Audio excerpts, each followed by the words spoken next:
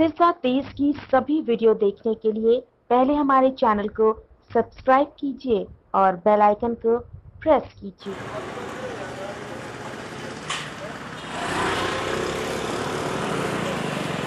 है ये इसके अंदर ला ला अंदर अंदर अरे सर हमने कुछ किया ही नहीं ठीक है करो ड्यूटी ये बात नहीं बोल सकते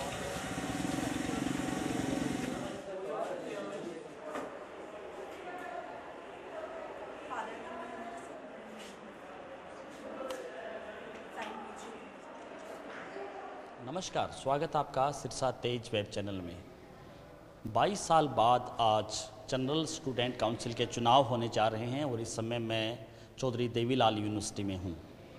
सिरसा ज़िले के तमाम कॉलेज एडिड कॉलेज और यूनिवर्सिटी के कॉलेज की चुनाव की ज़िम्मेदारी चौधरी देवीलाल यूनिवर्सिटी को सौंपी गई है और इस समय मैं चौधरी देवीलाल यूनिवर्सिटी में हूँ। जैसा कि आपको पता है कि चौधरी देवीलाल यूनिवर्सिटी में बयासी सी आर चुने जाने हैं यानी क्लास रिप्रेजेंटेटिव बयासी चुने जाने हैं जिसमें से पैंसठ सी आर है वो उनका चुनाव सर्वसम्मति से किया गया है। Polling booth Chaudhary Devilal university में बनाए गए हैं और सत्रह पोलिंग बूथ को लेकर के इकतालीस प्रत्याशी चुनाव मैदान में हैं।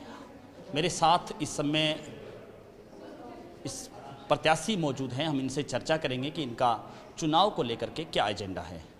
जी क्या नाम आपका? मेरा नाम वैशाली मलिक है, मैं बायोटेक से खड़ी हूँ एमएससी बायोटेक प्रीवियस से। मेरे लिए इलेक्शंस का सिर्फ़ मोटिव ये कि क्लास एक साथ रहे। जिन बच्चों को नोट्स प्रोवाइड नहीं होते, उनको हम नोट्स प्रोवाइड करें। और रही बात इलेक्शंस को लेके, ये कोई बच्चों को डिवाइड करने वाली बात नहीं है बट ये है कि भाई जो जिसको सपोर्ट करता है, वो उसको वोट करता है। लेकिन क्लास में कई इशूज़ चल रहे हैं, जैसे थीसिस का इशू काफ़ी साल से चल रहा है बट अभी उसका कुछ पता नहीं है कि वो सोल्व होगा नहीं होगा बट हम ट्राई करेंगे कि सब कुछ हो। क्लास में किसी चीज़ को भी कोई भी दिक्कत है, हम वो सॉल्व करेंगे। बच्चों की जहाँ तक होगी, सारी प्रॉब्लम सॉल्व करेंगे टीचर्स के पास जाएँगे टीचर्स से रिगार्डिंग कोई भी इशू है वो करेंगे और बाकी बच्चों को कोई भी डिसअपॉइंटमेंट नहीं होगी ये हमारी लास्ट तक कोशिश रहेगी। थैंक यू मेरा नाम रजत भटनागर है मैं एमएससी प्रीवियस बायोटेक का स्टूडेंट हूँ। तो आप भी प्रत्याशी हैं चुनाव? जी बिल्कुल। जी तो क्या एजेंडा है क्या उद्देश्य है आपका? मेरा एजेंडा ये है कि क्लास में हर बच्चा बराबर है हर सबको साथ लेकर चलना है। क्लास की बात नहीं है यहाँ पे यूनिवर्सिटी की बात है। हमें क्लास को रिप्रेजेंट करना है यूनिवर्सिटी लेवल पे। सुगम। तो क्या एजेंडा है आपका? क्या करना चाहते हैं हम चौधरी देवलाल यूनिवर्सिटी के लिए? छात्रों के हितों के लिए छात्र संघ चुनाव। अप्रत्यक्ष रूप से हो रहे हैं। प्रत्यक्ष रूप से मांग थी हमारी। प्रत्यक्ष रूप से नहीं हो रहे लेकिन अप्रत्यक्ष रूप से सरकार ने अगर हमें मौका दिया है तो हम इसको बुनाना पसंद करेंगे और छात्र हितों के लिए तत्पर तैयार हैं हम। तो क्या क्या क्या एजेंडा है आपका? क्या करना चाहते हैं आप?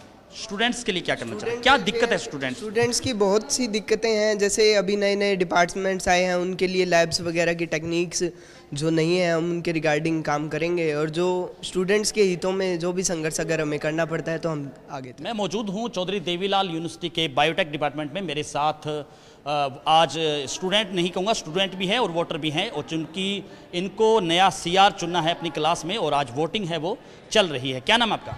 सपना। जी क्या उम्मीदें हैं आपको नए सीआर से? हमारी थीसिस की प्रॉब्लम सॉल्व होगी और जो हमारी प्रॉब्लम है वो डिपार्टमेंट तक जाएगी। हम यही सोच रहे हैं कि हमारा जो क्लास रिप्रेजेंटेटिव हो वो अच्छा हो। कैसा होना चाहिए रिप्रेजेंटेटिव अच्छा हो जो हमारी हर प्रॉब्लम सॉल्व करने के लायक साथ इस समय बायोटेक की छात्राएँ हैं ये प्रत्याशी तो नहीं है लेकिन वोटर हैं। हम इनसे भी जानते हैं क्योंकि वोटर है वो भी प्रत्याशी चुनेंगे क्लास सीआर चुनेंगे क्लास रिप्रेजेंटेटिव चुनेंगे। तो इनकी क्या उम्मीदें हैं? ये क्या उम्मीदें रखते हैं सीआर से? क्या नाम आपका? मेरा नाम अनीता है। मैं एक्चुअली वोट डालने के लिए यहाँ पे हूँ और मैं सपोर्ट करती हूँ उस पर्सन को जो एक यूनिटी बना के रखे क्लास में। इवन क्लास लेवल पे नहीं, हम यूनिवर्सिटी लेवल पे भी हेल्प चाहते थे। बिकॉज़ क्लास लेवल पे आप पर्टिकुलरली आप टीचर्स के पास भी जा सकते हो। लेकिन चाहिए होती है हेल्प यूनिवर्सिटी लेवल पे। एडम ब्लॉक है रिज़ल्ट ब्रांच है, वहाँ पर थोड़ी हेल्प हो जाए हमें कि हमें कोई काम अगर दिक्कत आ रही है किसी चीज़ में डिले हो रही है चीज़ डी नहीं निकल रही है, वो चीज़ें ज़्यादा हमें मतलब करती है परेशान तो वो चीज़ें सॉल्व हो सके। हम ऐसा चाहते हैं कि वो सीआर बने जो हमारी सुने हमारी बात को रखे आगे जाके और हमारे मतलब क्लास को भी रिप्रेजेंट करे इवन हायर लेवल पे जहाँ पे यूनिवर्सिटी लेवल पे रिप्रेजेंट कर सके। थैंक यू श्वेता नाम है मेरा। तो आपको क्या उम्मीदें हैं इन चुनाव को लेकर? 22 साल बाद चुनाव हो रहे हैं अप्रत्यक्ष रूप से। क्या उम्मीदें हैं?